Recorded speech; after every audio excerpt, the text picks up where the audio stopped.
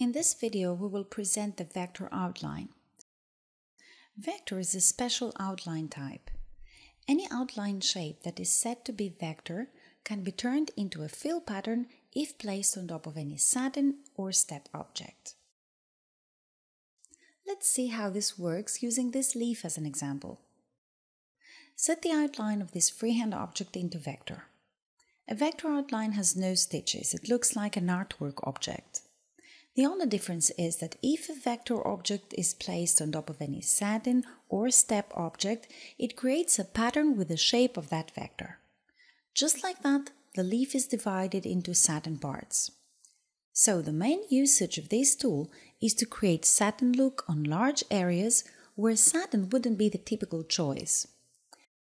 With the vector fill tool you can create beautiful designs by drawing over large satin or step filled shapes. Any outline you draw is automatically converted into stitch penetration points in the underneath shape.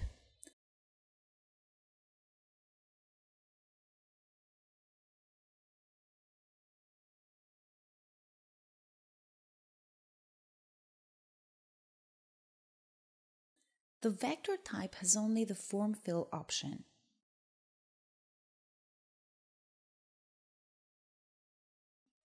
By default, when applying vector, the only stitches, except for those on the edge of the object, are on the outline of the vector fill.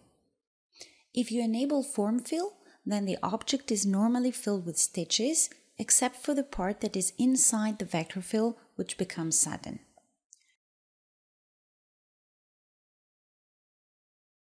When used in combination to other tools, you can easily create unique effects.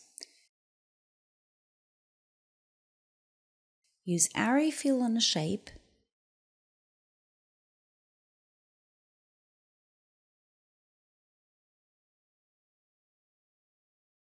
Change it to vector and you have created a unique fill pattern.